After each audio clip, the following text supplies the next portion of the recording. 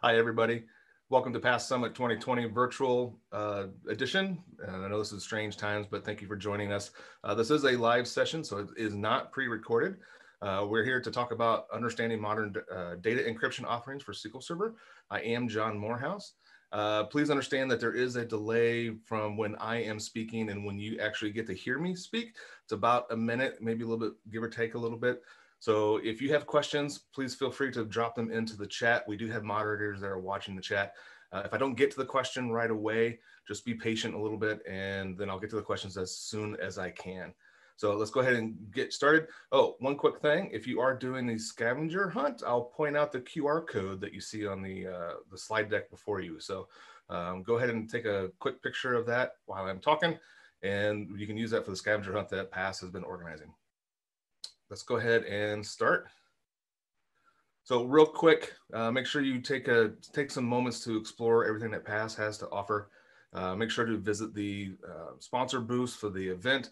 Uh, even putting on a virtual conference like this uh, takes a lot of hard work and effort, and we can't do that without the sponsors that provide money, which provides resources so we can have these type of conferences. PASS has a very large uh, amount of free training and knowledge uh, make sure to check out local PASS user groups that you have in your area. I know SQL Saturdays, we're not holding them physically right now. Many, many areas are doing virtual events. So don't hesitate to jump on that bandwagon and start learning for free. Um, the PASS Marathon virtual groups, uh, I will say that I am probably where I am in my career.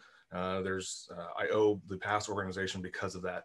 Um, getting involved with my local community and whatnot. So please take a moment to uh, explore everything that PASS has to offer as you go through your journey this week with PASS Summit, uh, speakers love feedback. So please make sure to take a moment to give speakers feedback, whether good or bad. I'm a big boy, so I can take negative feedback. The only thing I ask is that you uh, tell me what I've done wrong and or what I can do to make better.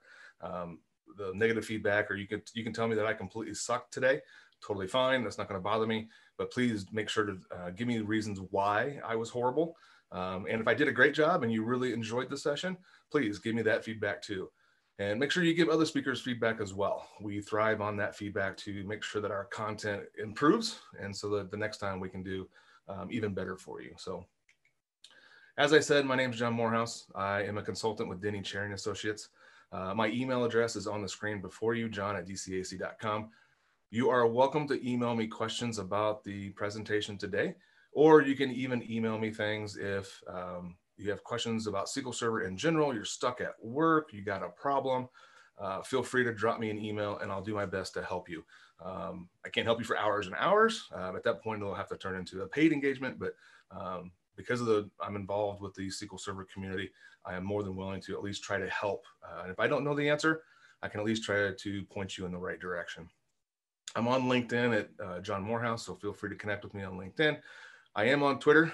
Twitter is probably about the only social media platform that uh, I am on uh, regularly or continuously. Uh, that is, I always have to quantify this. This is that's SQL R Us, not SQL Russ. So thank Toys R Us.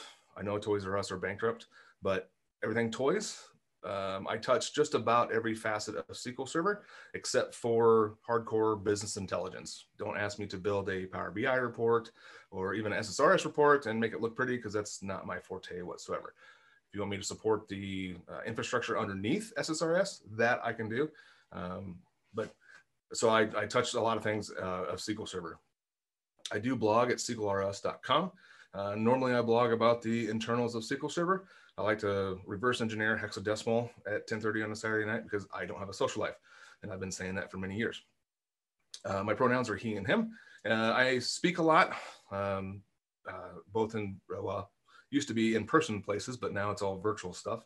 Uh, I do try to blog and tweet as much as I can. I am a member of the uh, Microsoft Data Platform MVP program, and I'm extremely honored to be a part of that program.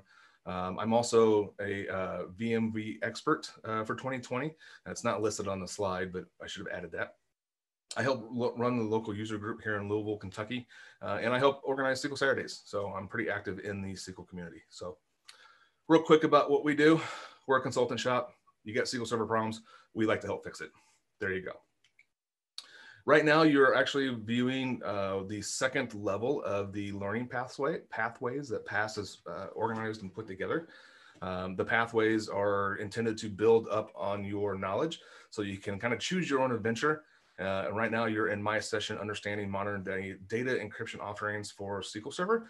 Um, earlier today, uh, William Assaf did a SQL Security Principles 101 session, and then later, uh, I believe tomorrow and Friday, you'll you can you can go to Jeff or Ed's sessions to help continue through your adventures in um, understanding security with SQL Server.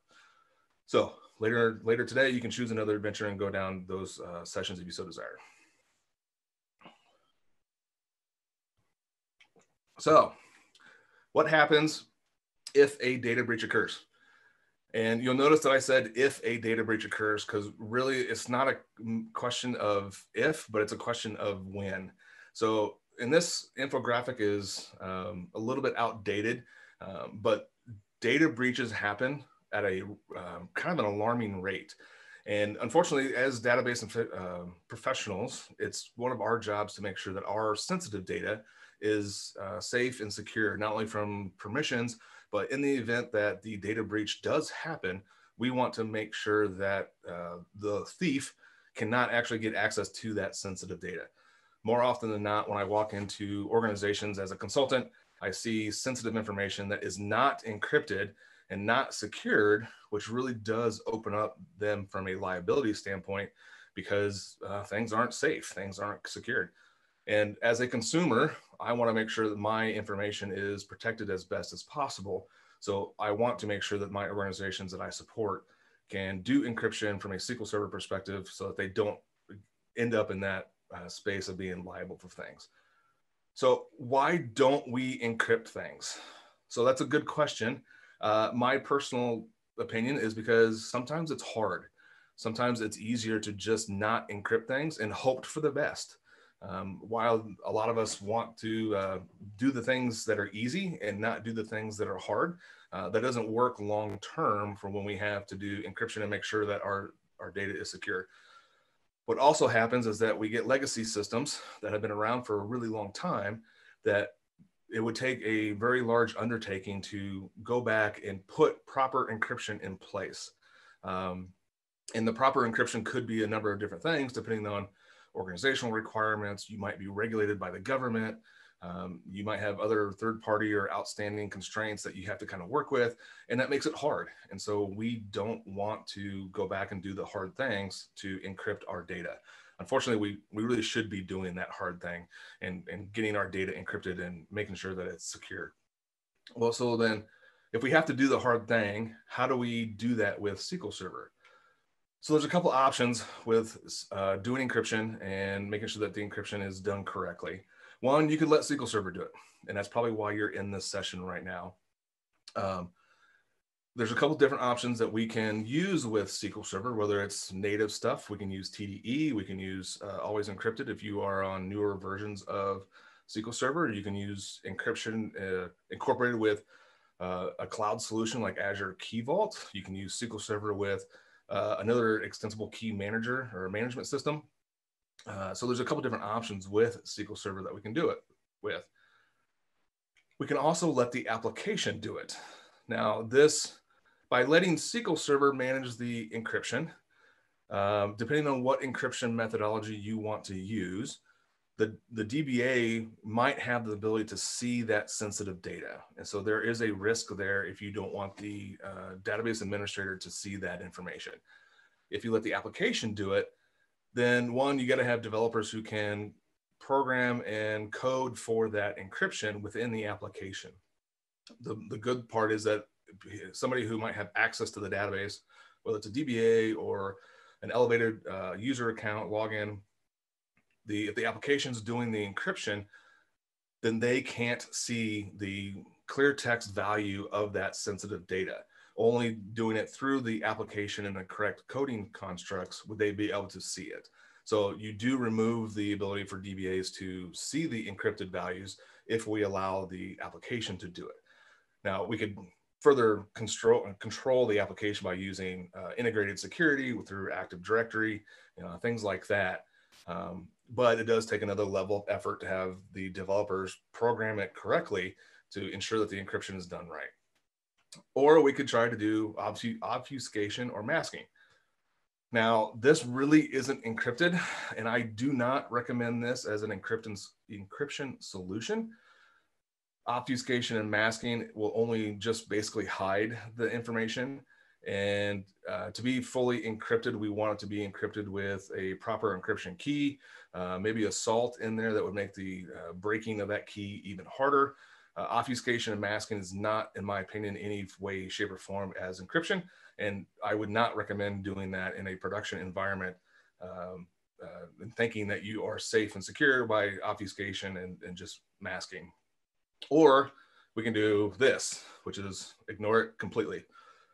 I don't recommend that either, especially if you know that you have sensitive data in systems and databases right now. Uh, don't ignore it think, thinking that it's going to go away. Uh, more and more, we continue to see those data breaches happen, both on premises and in the cloud, uh, because we do ignore it completely and we just, oh, we'll worry about it later. We'll worry about it next sprint. If you know that you have sensitive data that isn't encrypted, start the project now to at least go down that path of trying to get it encrypted as best as possible. We could do TDE, which is uh, pretty seamless to any applications that, and we'll talk about TDE here in a little bit but there are some solutions that you could put in place with SQL Server that would require minimal coding changes.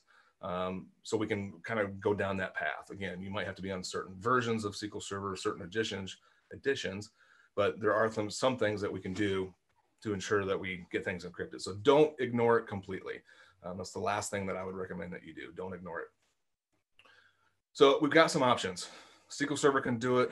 The application can do it we can obfuscate it and, and pretend that's really encryption, or we can ignore it completely. So let's talk about some terminology about encryption that we need to understand before we kind of dive into some of the options that SQL Server has. Um, so we have a, a construct of, uh, in terms of how that's actually going to work. So let's talk about some terminology. So the first thing up is the SMK, and that really stands for the services master key when you install SQL Server the first time it is uh, started and spins up, it's going to generate a services master key. That services master key is going to be unique across all your instances. So, and it works with the Windows operating system to generate that um, services master key. So it is going to be unique across all instances. And that services master key will be used later to help do encryption within the individual databases, uh, depending on what application or what methodology you deploy to do your encryption. Some, most encryptions will have to have some type of database master key or DMK. So we, uh, when we do like column level encryption, uh, and I got a couple demos that'll show this, um, you we have to create a database master key. That database master key is encrypted using the services master key from the SQL Server instance. This comes in handy, especially when we input encryption in place. Uh, if we wanted to move databases around or if somebody wanted to get a hold of the database backup, if they don't have the database master key password or the services master key, they can't restore it. Well, let me take that back. They can restore the database. They can't uh, un unencrypt the data that is encrypted. So having the database master key and the services master key is a great way to further uh, enhance your encryption. Column master key or CMK, this is going to be played with your always on, always encrypted, excuse me, not always on, always encrypted. Uh, the column master key will be generated within the table in the database, and then the column master key will be used to encrypt the column encryption key, or CEK. Those two components the column master key and the column encryption key will be used if you decide to deploy um, always encrypted. Uh, and we can actually see them within the database. And I'll show you that in the demo as to where you can see that as we go through. We'll actually stand up uh, always on and always on, always encrypted along with uh, TDE and uh, column level encryption so you can see how that works. Next up, we have EKM, which is extensible key management. So storing the keys is pretty critical. And we can store the keys used for encryption in a couple different places. One, we can create keys within SQL Server. The services master key is a key that is stored within SQL Server. the database master key is stored within SQL Server, but we can use, we can actually say, hey, I want to store them outside of SQL Server and put them somewhere else. Uh, a good example would be we can actually integrate SQL Server with Azure Key Vault. Um, that solution is a great way to ensure that the keys to the kingdom are stored offsite out of SQL Server. Uh, we can put controls around the Azure Key Vault um, from an Azure perspective, and but SQL Server can still reference it. So it's kind of like keeping the keys out of um, out of harm's way by keeping it somewhere else. The extensible key management that is what key uh, Azure Key Vault would be. It is a EKM that we can tie into SQL Server to store our keys in a secured manner, and then we can use those keys to do encryption in certain areas. It doesn't have to be Azure Key Vault. There are certainly third-party uh, solutions to use uh, as a EKM. In my demos, we'll just use Azure Key Vault because uh, it was uh, easy and available for me. So that's what we're going to use in our demos in the encryption process, we have to talk about two different things here, well, actually three. Um, first up is the uh, asymmetric key. When we use asymmetric key encryption, there's actually two keys. If you've ever done any type of encrypted emails, uh, you know that you have a private key and a public key, and then you have to have both those keys available to one encrypt and then subsequently decrypt your data effectively symmetric keys, the opposite of asymmetric. Symmetric keys, uh, we only have one key. So we have one key. It'd be like um, I have one key to my house, and I give my one key to um, a friend of mine, and then they have the key, and so then they can get into my house, my residence, with that one key. We only uh, create one key, and then we just share that key. And so I use that same key to encrypt. I use that same key to decrypt when I send that information to a third party or second party. We can also use certificates. And a certificate is basically just a digitally signed statement. I usually equate a certificate to using like an SSL certificate. Um, if you're an IT professional, you probably have experience working with uh, SSL certificates uh, when browsing the internet or uh, even encryption like emails and stuff like that. Uh, an SSL certificate is the same kind of construct as what we use here in SQL Server, and we use that to further uh, as a method to help encrypt data that we want to protect. So those are the basic terminologies that we use when we talk about encryption. Um, here are some encryption types that we can uh, use. So we can use column level encryption within SQL Server.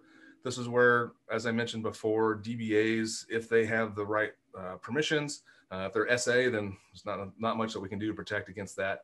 Uh, DBAs can actually read the uh, unencrypted values uh, and, and break that, break is the wrong word, but utilize the decryption to see the values. We can use uh, dynamic data masking, which again is obfuscation, not encryption. That's at the column level. I don't recommend this as an encryption method. Uh, yeah, you can hide the, the true value of the data from the end user, um, but there are ways to break that and get around that. And so I, I don't like that as an encryption option, but I, I wanted to at least throw it out there as I've seen it used as a encryption method. Um, it's not really. Or we can use transparent data encryption. Transparent data encryption will encrypt the database at rest. So what that basically means is that as data is written to the files on the uh, disk subsystem, that data will be encrypted. What that does mean though is that as data is extracted from the disk into the buffer pools of SQL Server and transmitted elsewhere, it will be unencrypted. TDE is probably one of the bare minimum types of encryptions that I will implement. If I have a, a good example would be a third party system. Uh, most third party vendors systems, you can't alter their database um, without breaking some sort of support contract, but they might let you do some type of TDE and put TDE in place on their database without breaking anything. Now, complete disclaimer, don't go to your third party systems and just suddenly add transparent data encryption and say, hey, John said to do this.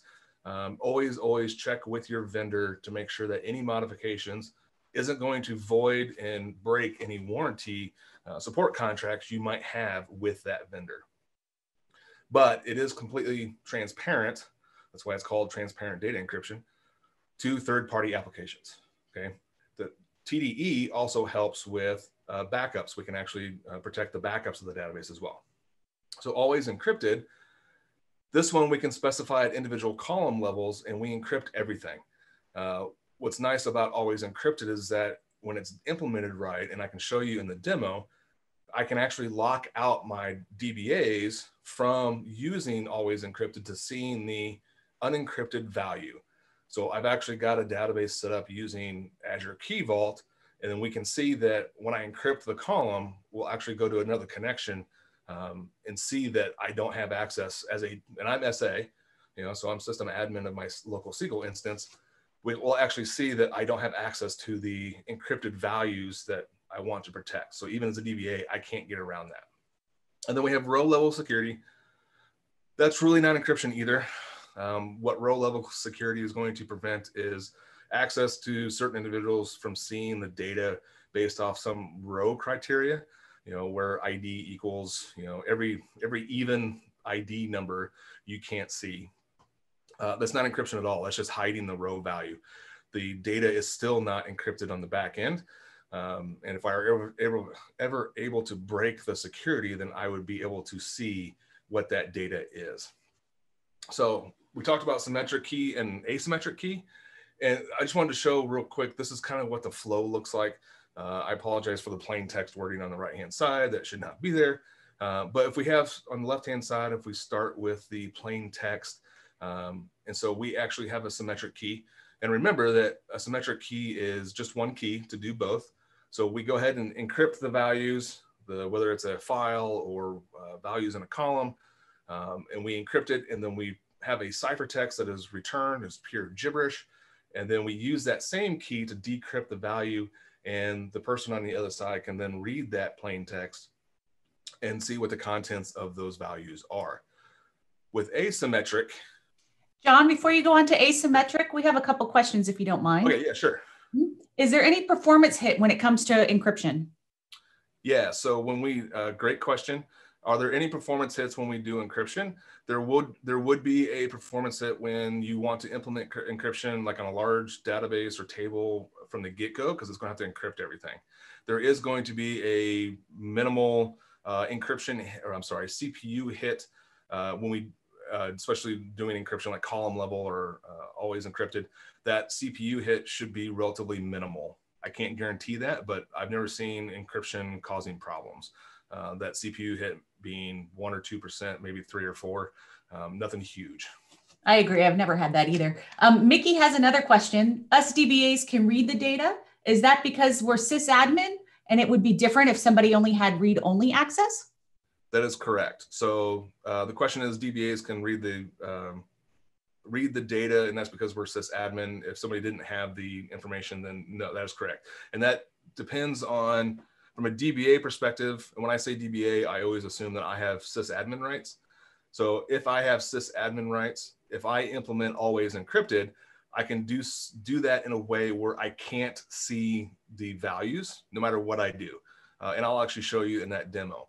If I implement column level encryption, which also I have a demo for, I can, as a DBA, I will have access to the keys uh, to the kingdom. So then I can decrypt the data just because I'm sysadmin and I have the appropriate rights.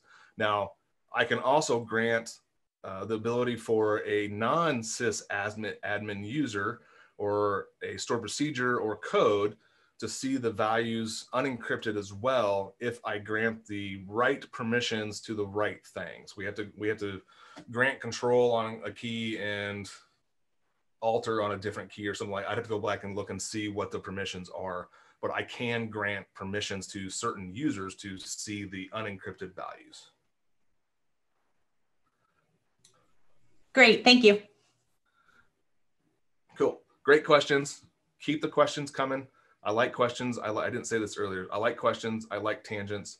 Uh, feel free to drop questions. Uh, Monica, my wonderful moderator, uh, will, be happy to interrupt me and we'll ask questions and go. Uh, especially during the demos, if you need for me to repeat things in the demo, um, then we can certainly repeat it. So back to the asymmetric key. Uh, this is just a, a, a, diagram as to how the keys work. Uh, so we start with a plain text and then we have one key. Remember the asymmetric key pair. Uh, so we basically have a private and a public key. In this case, we use the one asymmetric key to encrypt our plain text.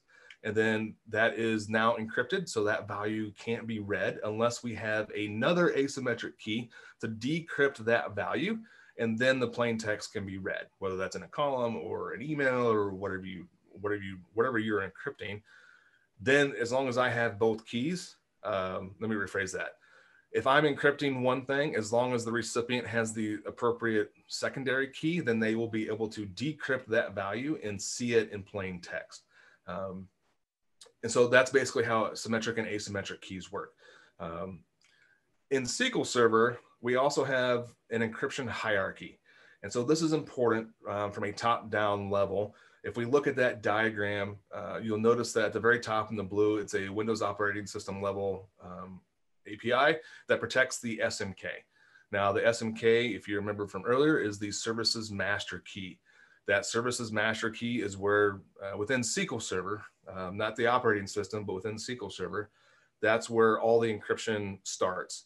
Then below that, we can see in the yellow box that we've got a DMK or database master key that is encrypted and protected by the services master key when SQL Server was set up and initially uh, started as we go down through that hierarchy, there's one thing that I want you to notice. And this is where, if we were in person, I would probably give you a break and take a drink and say, hey, what, what do you see common between all those paths from the DMK down to our encrypted data value at the very, the very bottom yellow block? There's certain, there's one thing that's, that is common amongst all of those paths except for the EKM. And that commonality is the password you have to have some sort of password somewhere, whether it's um, you create the database master key or the certificate, there are passwords that are involved. And this is where I get on my soapbox a little bit. And please, please do not store passwords in Excel. You might be laughing right now. I hope you're laughing right now. Uh, unfortunately, we still see organizations that will put passwords to the keys and to their encryption uh, and to everything else an Excel file and then password protect that Excel file. I'm pretty sure I can probably hack an Excel file pretty darn quick. Um, there's ways to do it. Um, don't store store passwords in a Excel file. Get a password manager, one that is secured. KeePass is free. I use I personally use 1Password to manage all my passwords. Uh, LastPass is uh, a great solution as well. They both offer enterprise level solutions. Get something that will help you store passwords for your keys in a secured manner. As I said, KeePass is completely free. I used it for years as ways to, to manage those keys. You can even tie it into Active Directory to make sure that you can control who has access to that KeePass database. Don't store it in Excel or don't store it on a sticky note and put it on underneath your keyboard. Make sure you store those passwords securely just as you would anything else. Okay. And use strong passwords. Don't use password one, two, three, four, five, um, or one, two, three, four, five. Um, make sure you use strong, good passwords. Find a password generator. Most of the enterprise solutions will have some sort of password generator today. Um, so make sure that you store the strong passwords somewhere else. All right. So the uh, password management, it would have got that. Uh, and the this encryption is going to be is as good as the weakest link. So if you are choosing poor passwords, as I just mentioned, then that is going to be one of you, your worstest, worst, weakest links. So make sure you use good pa uh, passwords. Using symmetric keys is faster than asymmetric or cert certificates. So when you are looking at doing, doing um, encryption, there's a, there's a pro and con by using symmetric versus asymmetric. Uh, one symmetric is faster, but the um, symmetric is one key. So if I have stolen the key, then that's the only key I need to, to do damage. With uh, asymmetric, then uh, technically I just need the one key to decrypt it, but um, I need the, the other key to re-encrypt or do anything else. So, but symmetric keys are going to be faster. So when you start to look at doing encryption, if you want, is performance an issue for you, using symmetric key might be a, uh, a better edge for you. Doing encryption with natively within SQL Server, we've got some options. The top box is symmetric. The Don, middle. I'm sorry to interrupt you again. We've got some questions for you. no, that's fine. I like questions. Okay. Feel free. for always encrypted, what if I need to make a schema change? Can I still use it? If you need to make a schema change, depends on what the schema change is. I believe. If you are changing just the table, I think that'll work just fine. If you are changing the column um, that is encrypted, I'm not sure how that would that will behave. Okay. I've Um, not tried that. The next question, if you're using TDE, all data is encrypted to the sysadmin. Is that correct? If I'm using TDE, that's say that one more time. If you are using TDE, all data is encrypted to the sysadmin. I'm not sure if we're using, I'm not sure what the, I'm not sure I understand the question. If we are using TDE, all the data is going to be encrypted at rest on the disk. It's not going to be encrypted per se to a login. Which I think it'll be a permissions thing uh, for the sysadmin. If they have the ability to get to the keys, they should be able to read the data. Is that correct? Uh, well, so if it's TDE, we're going to, we're still going the data within as we you know go into the management studio and do a select star from table dot employees. Uh, the data will still be unencrypted because what's happened is because TDE only encrypts data at rest on the disk. When SQL Server brings that data out of the disk and into the uh, buffer pool, which every, everything SQL Server works with is always going to be in memory. So when it comes up off the disk into memory, it's going to be decrypted and totally available. If that user has access to read that table, then they're going to be able to see that data unencrypted. I hope that answers the question.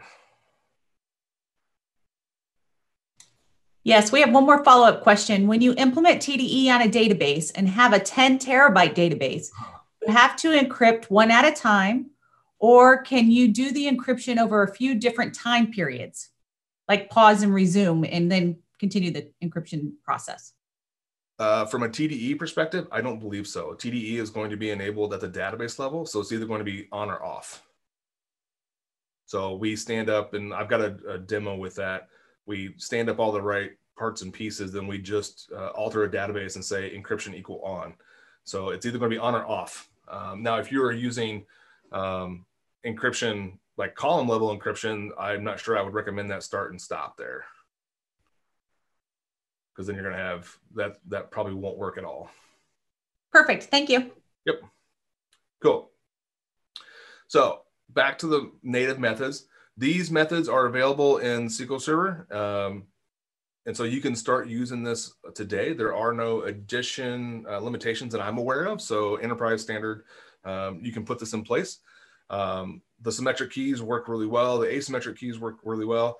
Uh, you can use other things like hash bytes to help uh, uh, deal with like indexing and searching with, especially with encrypted values.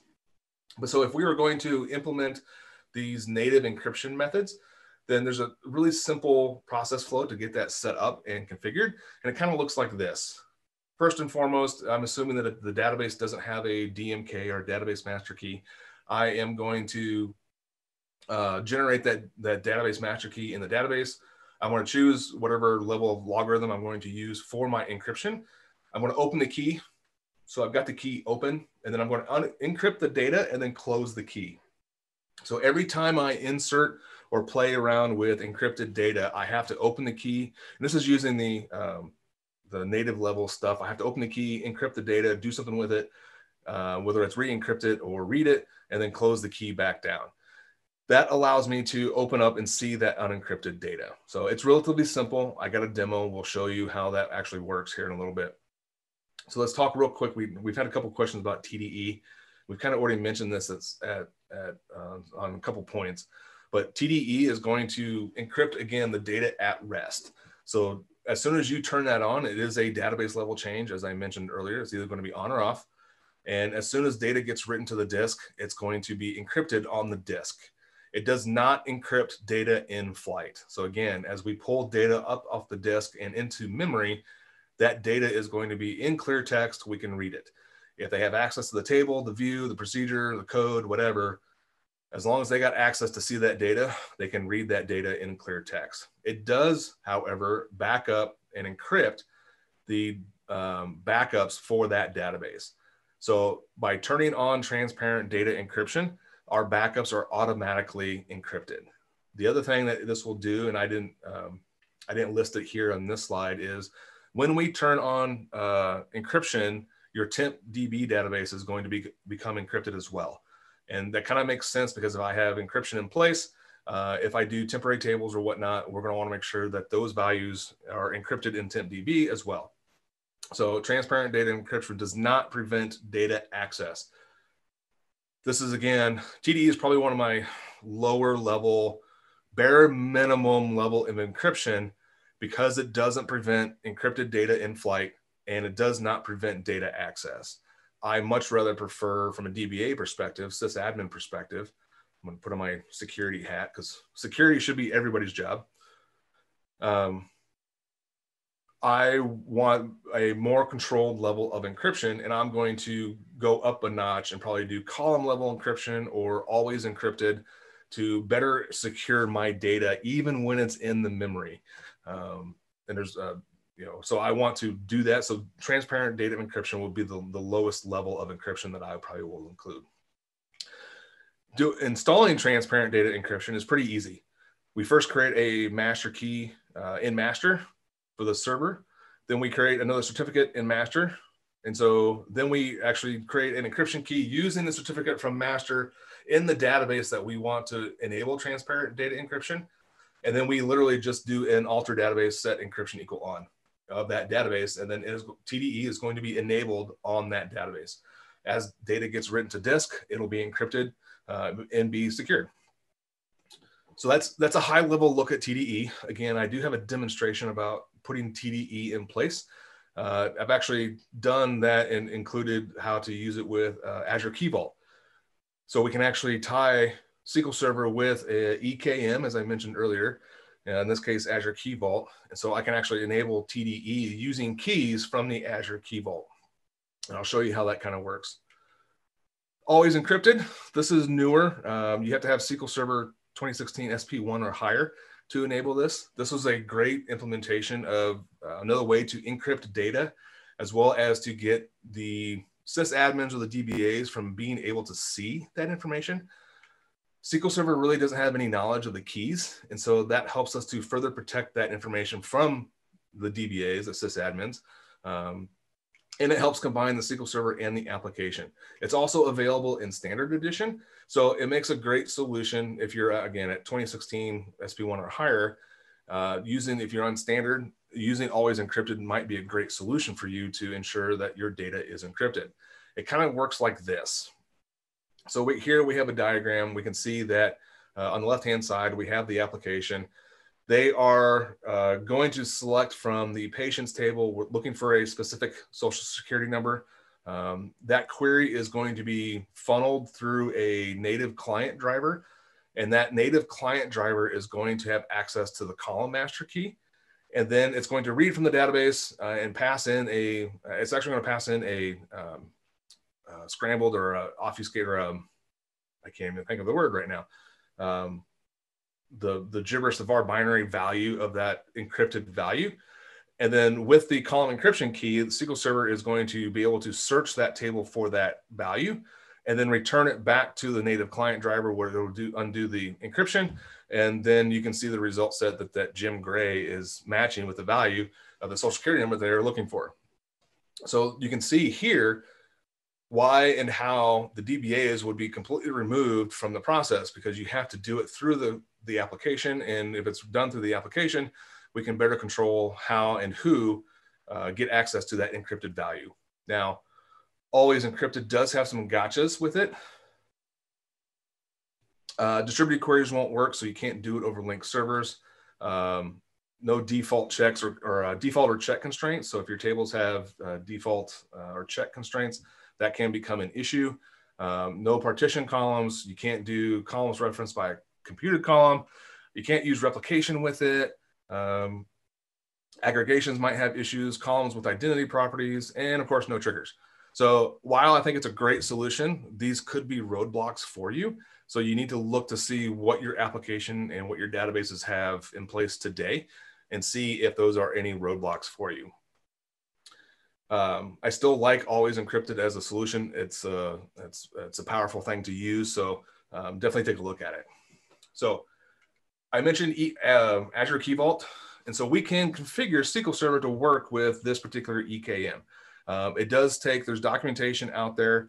Um, you can just Google with uh, Microsoft Documents and, and find their solutions and, and, documentation and instructions on how to set up your SQL Server to talk to Azure Key Vault to make it work. In this diagram, we can actually see that we have on the lower left or in the lower level in the green, that's the SQL Server instance. Uh, we have our master database, we have an encryption key and all that. You do have to install a SQL Server connector. You can download it from Microsoft. Uh, it's a small install. You install it with your SQL Server instance on that machine. Uh, and then that connector allows the actual SQL Server instance to talk to the Azure Key Vault. And then with the Key Vault, we can manage passwords. We can manage uh, encryption keys or certificates.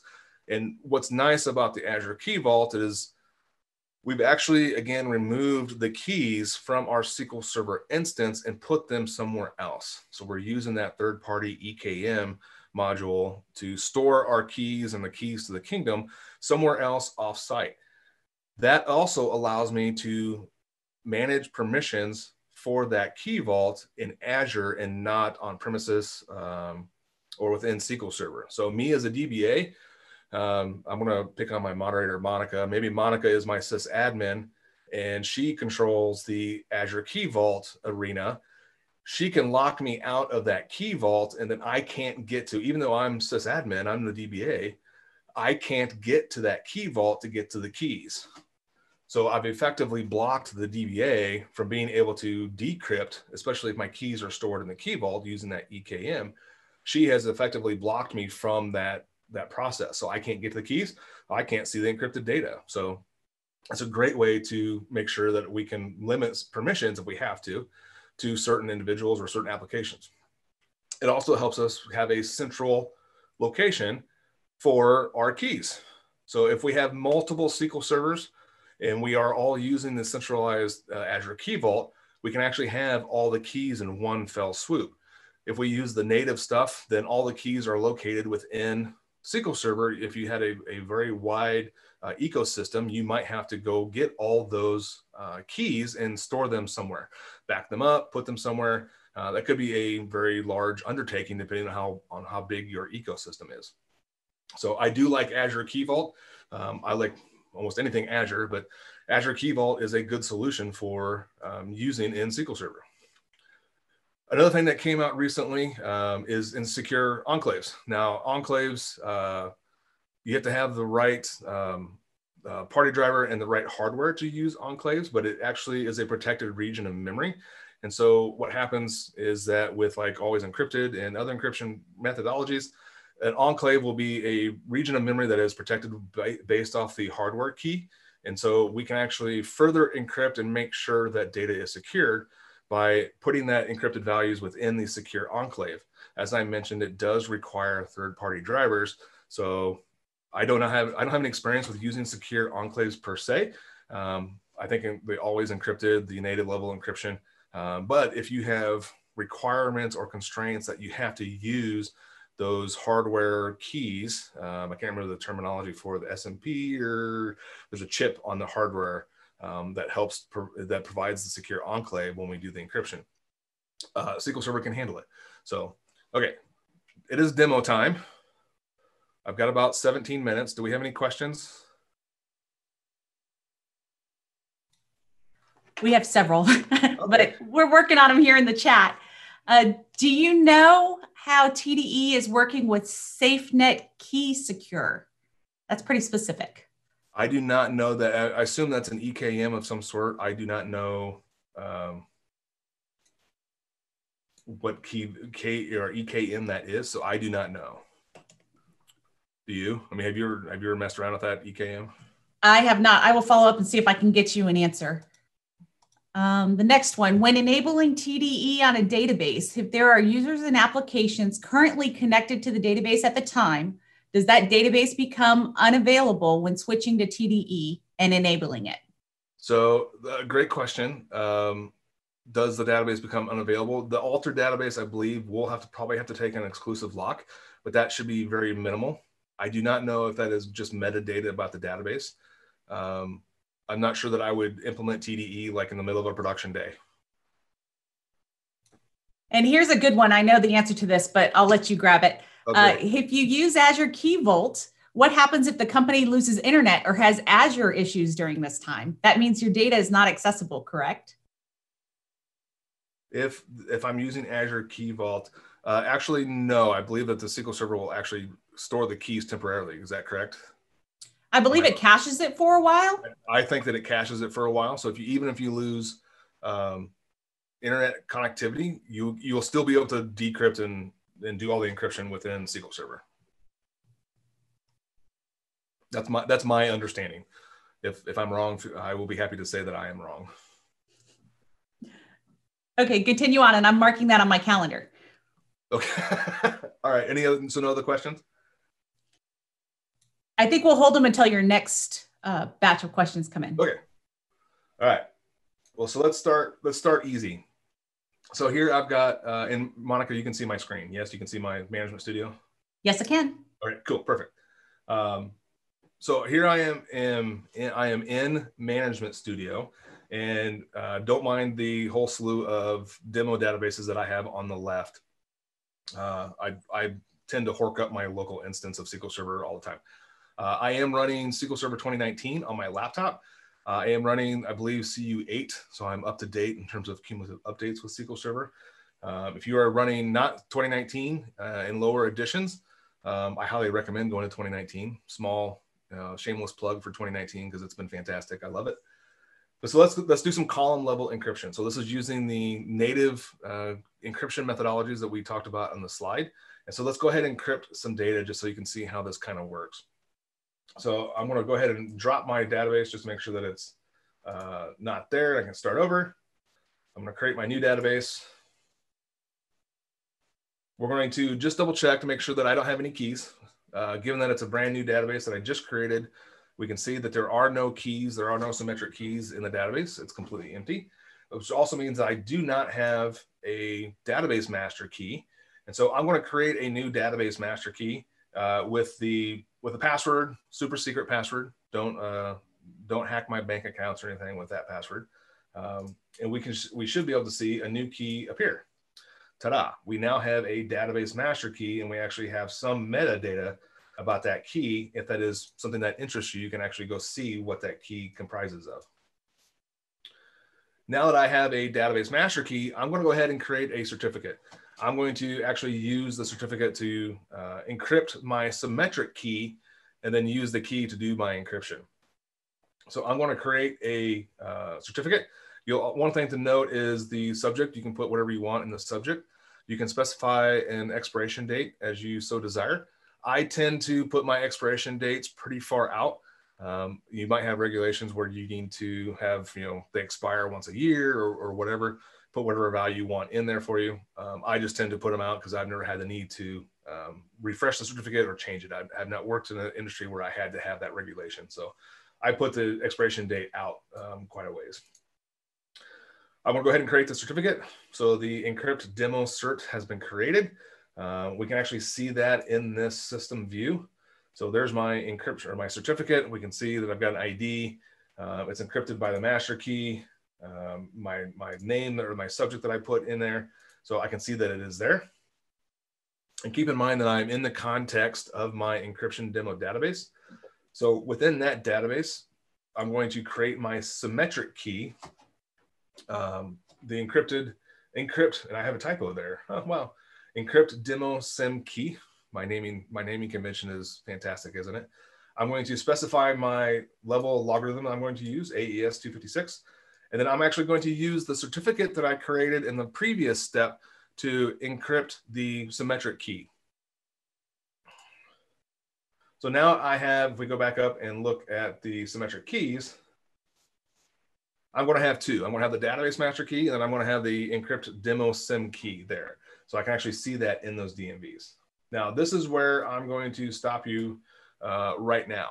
And this is what happens that I find quite often if you are doing encryption and you have created keys and it's not in a place like Azure Key Vault or some other EKM where that might be storing those keys, please make sure you back up your keys, back up your certificates, back up your master keys, your uh, whatever.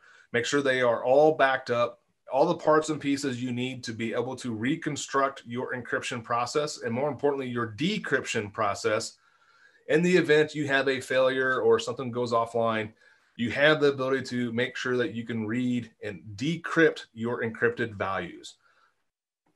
While I applaud organizations that want to do encryption and they are doing encryption, encrypting data and not saving the keys and the keys to the kingdom somewhere else outside of SQL Server, backed up and available, is doing a disservice to uh, the IT professions, and we have to make sure that we can do our backups and get to our unencrypted data. Okay, so I'm actually going to delete the backups that I have now. It is hammer time if you don't back it up. So I'm going to back up the certificate to my local hard drive. I'm going to back up uh, the master key and the services master key to a local file and I'm going to uh, encrypt those files with a password. You have to have that password to be able to restore them. So make sure you store those passwords in your password manager. I hope you're understanding that password management is very important in this process and that you have a, a third party solution to manage your passwords. Again, KeePass, 1Password, LastPass, just please, not Excel. So I want to go ahead and back up those files because I am a good DBA. Oh, that's right. And that died. That's funny. That did not die in my original uh, uh, when I ran this demo earlier. Oh, okay. So now it works. So I must not have run it when I did delete. So now those are backed up into my, my local hard drive here. I'm going to go ahead and open up the master key with that password. I want to create a new table, and this table is going to represent my sensitive data table, your employee table, your customer table, whatever. And in this table, I'm going to have an ID, a first name, a last name, and my social security number. Now, with the native level encryption, you'll notice that I have a that social security number column, which is right here.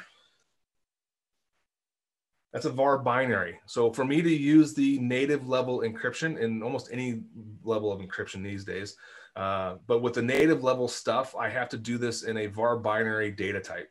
So the data type will actually be um, gibberish. It'll just be var binary. You won't be able to read it. Um, and you're limited to eight, uh, 8,000 8, uh, characters with the var binary. So I'm going to call do a var binary 128, which is more than enough for my purposes.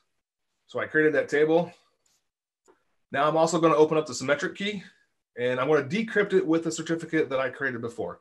This is where I can actually assign permissions to non-sys admins and or like stored procedures.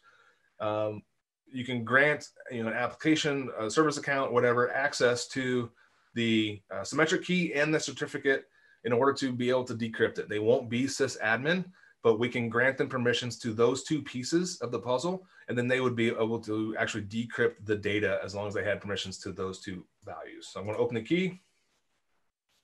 Uh, here I'm going to use the encrypt by key function.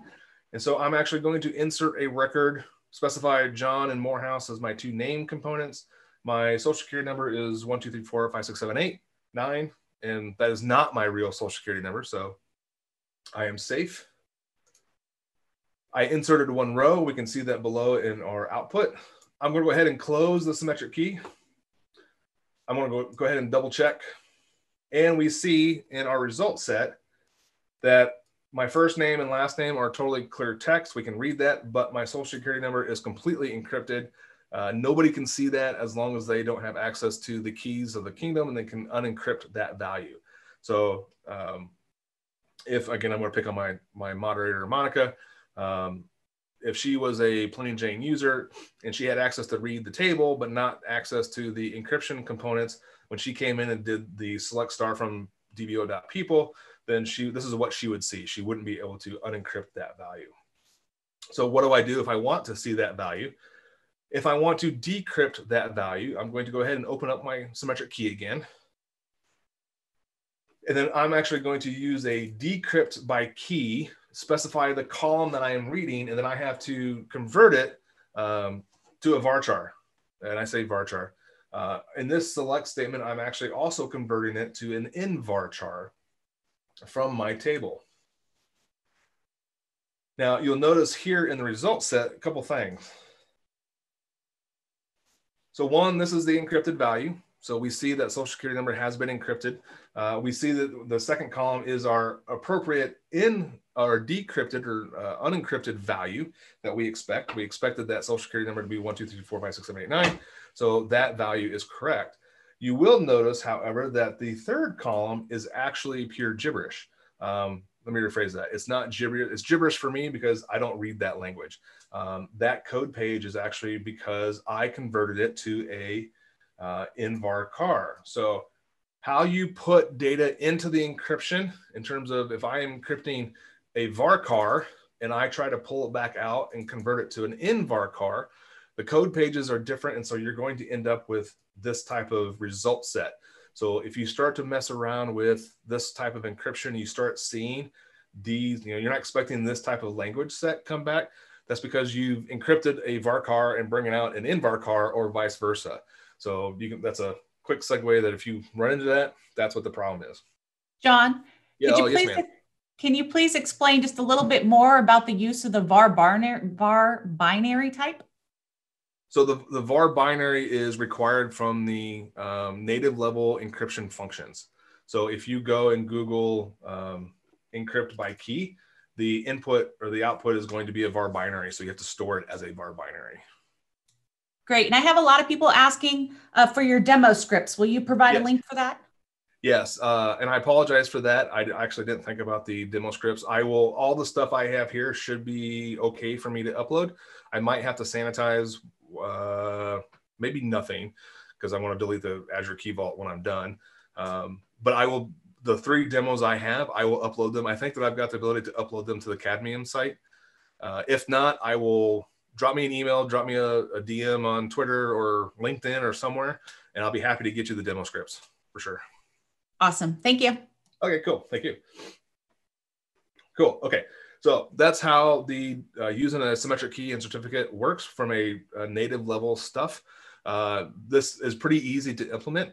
Um, you do have to kind of recode your your tables. Your you have to add a var binary column, right? And uh, if you've got sensitive data now, uh, it's it, it from a code perspective, it's not too difficult. From an architectural standpoint, you might have to do some refactoring in your applications and or your code one thing I do like about this, if your code is using the stored procedures and not like entity frameworks or anything like that, uh, I can actually implement this behind the scenes. Uh, and by adjusting my stored procedure, um, I can actually implement this so that the application never even knows that I've encrypted the values. So moving on real quick, I've got about 15 minutes and I still got two demos left. You can use uh, encrypt by passphrase. Um, that is another option to use in terms of encryption. So here I'm going to create a table called password. And in that password, I'm going to actually another var binary data type. I'm going to specify a password of password one, two, three, four, five. That's not my password. And I'm going to encrypt a string, hello, my name is John, with that password. So if I now select from that table, we can see that it is indeed encrypted. And if I want to see that unencrypted value, decrypt by passphrase. Again, I had to have that password, and hopefully it's not an Excel file or on a sticky note underneath your keyboard. Uh, as long as I have that password, I can decrypt that information. So that was native level, uh, what I consider native level uh, encryption using the encrypted values. Uh, there are limits, as I mentioned. The um, these functions do have a limit of a, the biggest uh, value you can put in there is a uh, character you know, nvarchar 8000. So if you're looking to encrypt big volumes of text, this won't work for you. So, okay, let's move over to doing TDE in conjunction with Azure uh, Key Vault. Uh, actually, I take that back. This is going to be just standard TDE. Um, so here I am going to have a, I have a data set database, Dunder Mifflin. For those of you that watched the TV show The Office, this is actually where this came from. Um, a friend of mine in the SQL Server community, Tim Mitchell, uh, he gets full credit because he's the one that designed that data set. You can Google Tim Mitchell uh, Dunder Mifflin. He it's a uh, it's on GitHub. That's a great little data set to play around with. Um, I've been using it quite a bit in demos, so great little thing to go use if you want. So I want to clean some stuff up. Oh, and that's going to die. Fantastic. Not sure why that died. Do I have? Nope, wrong place. Okay, so my demo is not going to work uh, right now, and that is fantastic. Am I already encrypted? No.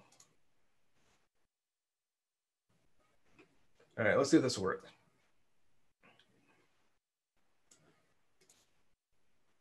Oh, whoops, wrong context. Uh, no, that has to be a master. Why can't I do that? Anyway, um, I apologize for the demo gods not liking me right now. This was working when I. So I must have the wrong. Anyway, I've only got a few minutes. So real quick, we can just walk through it and we can show you. Um, essentially in master, you're going to create a, a, master key encrypted with a strong password. Um, I wonder if I can just do this. So that we're going to create that master key um, in master. You're going to create a certificate in master. We can actually look and see there should be a certificate here. There is this TDE certificate. So it's already there. So maybe I can re-encrypt it. With anything else, just as I, as I stressed with the native level stuff, make sure you are backing up those encryptions. Uh, the certificate, I'm sorry, the certificates and the keys. Back them up um, so that when you have to restore the database or get access to that encrypted values, you can. So this is just the backup statement that I would have for that certificate. Um, so using the Dunder Mifflin database, I'm going to drop the encryption key just to see if it's there. Probably is. I'm going to create a new database encryption key, and you'll notice that I'm using the server certificate that I specified that I created already in master. So that certificate has to live in master, and then I can actually use that certificate uh, with other databases as well. I'm going to go ahead and create my database encryption key. That completed successfully. And I'm just going to uh, alter the database and set the encryption as on. We can actually look, I'm going to steal.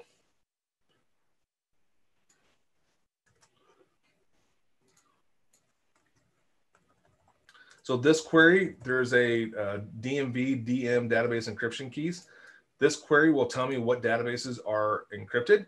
Now, the uh, one, the encryption state of one is unencrypted. The state of three is encrypted.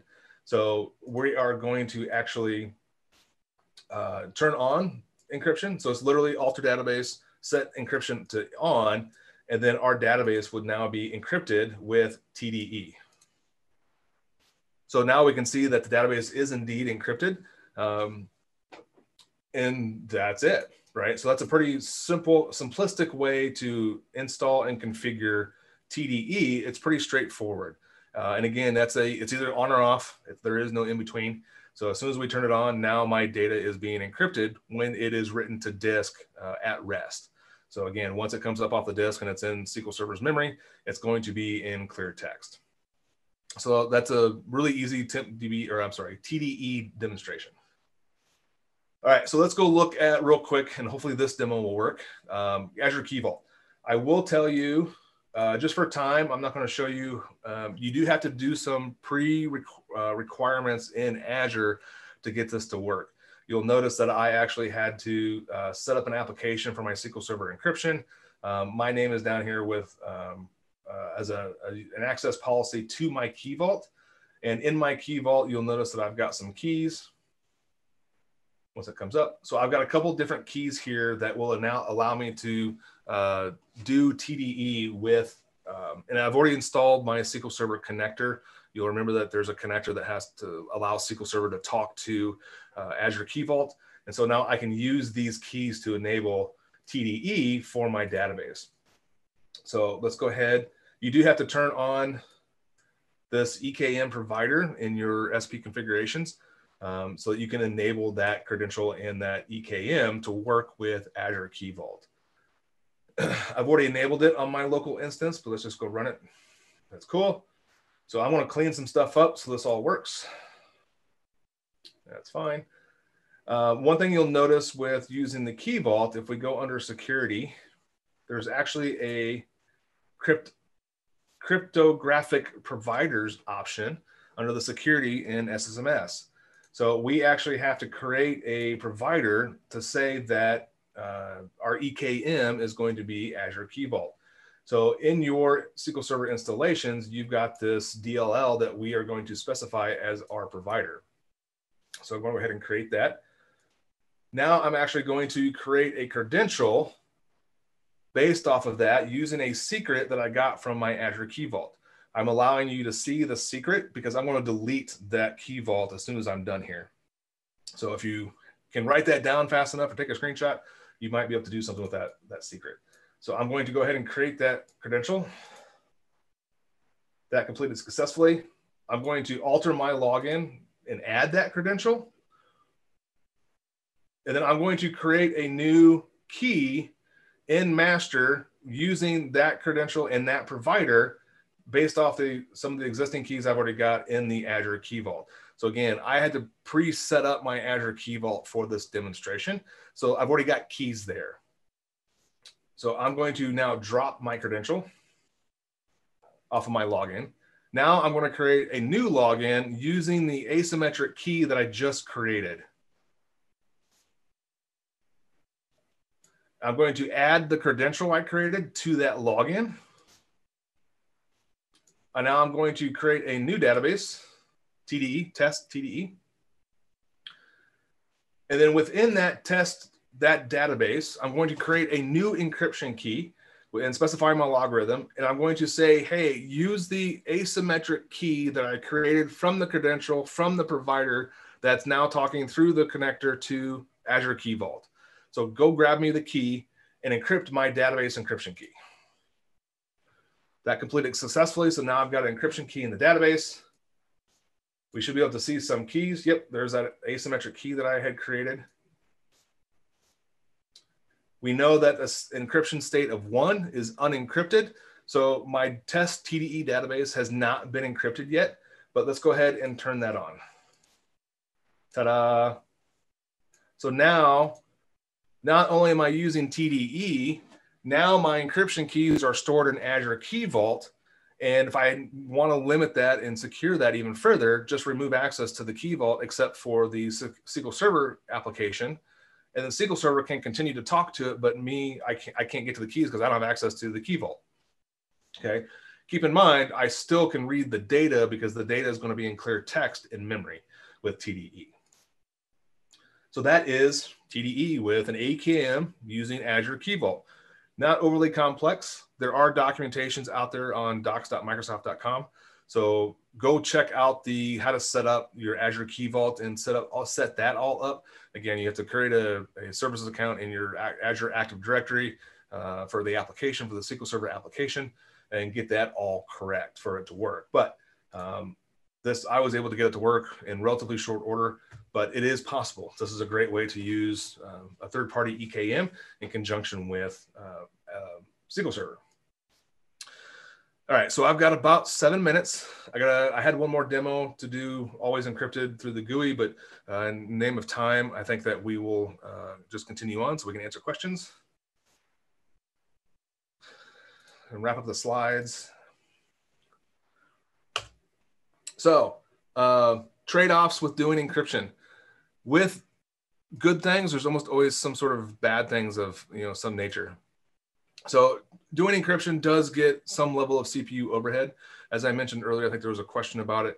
That overhead should be relatively minimal. Don't hold me to that, depending on what you're doing. But I have yet to see encryption cause huge, massive things um, when implemented correctly uh, in terms of CPU. Uh, once you've encrypted the data, you're not going to get any additional value from having it compressed. Um, your SAN admins might say, hey, we're going to compress it. You, are welcome to try. You're probably not going to get a lot of compression out of it. Um, using the varbinary, you're going to increase the size of your data, your indexes. Um, so just be aware of that. Um, indexing and searching for encrypted values one way around that is because it's encrypted and if you're not using always encrypted but you're using the native methodology um, you could actually take a value and use hash bytes and then in index off of the hash bytes of the encrypted value so you can use that workaround so that you can do indexing uh, on your sensitive data if you needed to um, you might have to incur some some schema changes and refactoring to get encryption in place. Uh, if you're doing something else and allowing the encryption to do, or I'm sorry, using the uh, application to do the encryption, you might have to have development to, you know, the development capabilities to actually implement that, implement that within your applications. Um, again, I'll leave you one of my the last slides. Please, I've said this multiple times make sure you are backing up your encryption keys and you know how to recover from restoring encrypted values uh, in the case you have a disaster. Uh, I have walked into many organizations where they have encryption, but they have no idea where the keys are at, and they don't know how to restore a database if it's not got TDE or you got encrypted values. We don't know how to get the values back. Please, please, please do not uh, walk away putting encryption in place without having backups of your keys. So, summary as we wrap up hopefully you can see from this session that you, there's a couple different options that you can use with SQL Server to help encrypt your data and keep it secure. It's our job as data professionals to ensure that the data safety um, is done and done as appropriately as possible. Make sure you weigh the pros and cons of each option. Uh, test it thoroughly. I can't stress that enough either. Test your encryption processes, test your applications. Don't blindly just put it into place and expect it hopefully you have a test environment that you can turn some of this stuff on and configure it and then uh, turn it on and see how your applications behave. Do your due diligence, test it appropriately before you actually just release it to the wild. And hey, look, it's like I planted that line. Test before we implement it into production. Do your part. If you're a data professional or, or you have any decision making capabilities in your applications, your database design, uh, your data management, do your part as a data professional to ensure that the, the appropriate data is encrypted effectively to make sure that it's secure. Um, one of us or all of us have all probably been a part of a data breach at one point or another, and it's no fun. I, I try very hard as a data, data professional to ensure that my customers' data, my data is as best as is as protected as best as possible because I don't want my data out there unencrypted. So encryption, all right. Questions. That's the end. That's well, that's close to the end. All right. It looks like we just have about three minutes, John. If you want to take a quick glimpse over to the questions and grab um, grab one. I think you've answered most of them. Um, I just let's see. Um, does Azure Key Vault EKM manage their own rotation of keys? Can you answer ah, that great, one? Great, great question. Uh, does Azure Key Vault EKM manage the rotation of keys? So it won't like rotate the keys for you that I'm aware of, but you can manually go in there and rotate the keys. Okay. Everything you demonstrated today, does anything need to be installed on the client side to encrypt and decrypt the data and use the functionality? Uh, if you, well, if you're going to use the application to perform the encryption, then yes. Uh, if you're going to use always encrypted, then you have to install that client driver for the application. By using Key Vault, we now have to open up our SQL Server access to the internet, correct? There's no magic here. I guess it would just limit it on the side of where, uh, I guess it could limit that to one site address.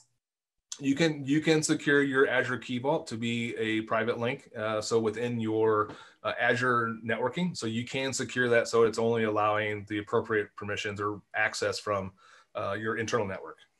You have to, you do have to configure that though, right? Correct. Um, does the encrypt by passphrase use a particular encryption key that needs to be backed up? Uh, no, you just need to back up the password. And please, please don't use my password as an example. Don't use password one two three four five. And I think I'm going to wrap that up. You've got about one minute left, John. Uh, the only thing I would add is uh, this was just one step of choose your own adventure. I've highlighted the, the two next uh, gentlemen's sessions uh, tomorrow at 2 p.m. Eastern, room six. Jeff is going to talk about securing your data further in Azure. I think he will talk more about Azure Key Vault. Uh, and then on Friday, Ed will talk about building a security dashboard for SQL Server at 1:45 p.m. Eastern, uh, room six. Great. I think that wraps it up. Thank you for attending. Enjoy Summit. Hope you have a great time.